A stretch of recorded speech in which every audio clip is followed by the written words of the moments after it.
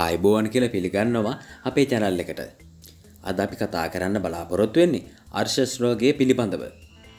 අපේ YouTube channel එක subscribe කළ නැත්තං දැම්ම සබස්ක්‍රයිබ් කරන්න. ඒ වගේම මෙමනි වීඩියෝස් දාපු සලින් ඔබ වෙතට ගෙන්වා ගැනීම සඳහා සීනුව බොත්තම ක්‍රියාත්මක කරන්න. මනුෂ්‍යයට අතිශයෙන් දුක්තෙන මහාරෝග ගණයකට අයත්වන රෝගයක් විදිහට අර්ශස් රෝගය හඳුන්වන්න පුළුවන්. පිත් සෙම්යනුවෙන් තුනක්ද තුන් දොසින් එකක් ලෙසින්ද. සහජයෙන් නැතහොත් මවපිය උරුමෙන් ආදී සයක් බව සඳහන් වෙනවා. මළබද්ධය බඩේ අධික වේතනාව අධික උෂ්ණය බඩේ කැනබීම ග්‍රහණය ලේපිටවීම ශරිරේ ලේ හීනැවීම දියරගැලීම සහ ගුදමග දැවිල්ල එවගේම නිතර නිතර වැසිකිලියාමට ඇති අවශ්‍යතාවයයි මේවා. මේ රෝගය මූලක්ගායන නමින්ද හඳුන්නනවා. ඇතැමිට බඩවැල ගුදෙන් පිටතට ඒමත් සිදු වෙනවා. වාතයකෝපවිමෙන් ඇතිවන අර්ශස් වියලිගතියෙන්ද චිමිචිමි ශබ්දයෙන්ද ගුදාංකූර මැලබුණු ගතියෙන්ද කළුවන් වූ ලෙසද රලවීමද ගොරෝලු ගොරෝසු බවින් යුක්තවීමද හිස උකුල කලවා ලය නැබ යන තැන්වල අධික වේදනාවගෙන දෙනවා. අර්ශස් මස්දරු කපුවැට රටේන්දි ගෙඩියක ප්‍රමාණය දරණ අතර අබෑට තරමටද සිහින් වෙනවා. පිත බහුලායට පිළින් උපදනා අර්ශස් විශේෂයෙන්ම හැදෙනවා. ගුදාන්කූර නිල් රතු සහ කහ කළු යන පැහැයන් ගන්නවා. මේ වයෙන් ඕජස් හෝ ලේගලනවා.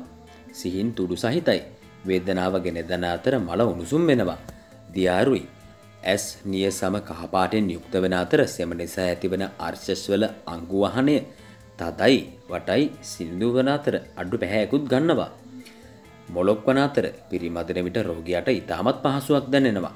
එම මස් දළු කොස් සැටයක තරං වැඩෙනවා. මේ රෝගීන්ගේ ලේසා මල පහ වූ පසු මල රහිතව පෙන පමණක් පිටවීමත් මෙහි විශේෂ ලක්ෂණයක් බවට පත්වෙනවා. පිත්තර්ශස් රෝගයේදී ලේ පිටවීම සිදුවෙනවා. ගුදමගෙන් ලේ පිටවීම ගුද අන්කුර තුඩු රතු බැහැෙන් යුක්ත වෙනවා. උෂ්නාධික බව බහුලතනත් අට මෙම රෝගය හැදෙන අතර සමහර විට මලබද්ධයක් පවතිනවා. දැවිල්ල තදින් පවතින අතර ලේ හිනවීමෙන් ශරීරයේ දුර්වල වෙනවා.